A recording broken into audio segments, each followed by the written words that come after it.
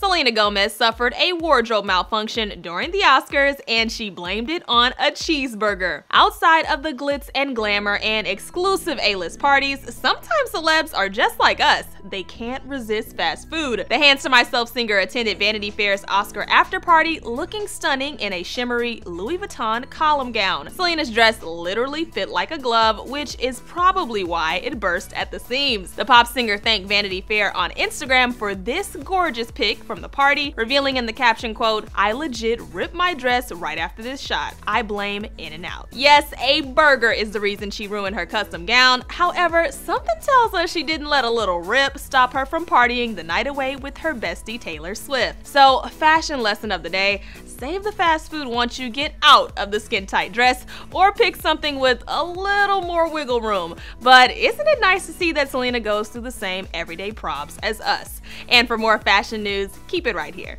And to see the whole Bad Blood Crew's sexy Oscars outfits or Oscars 2016 Best Dress list, click the boxes.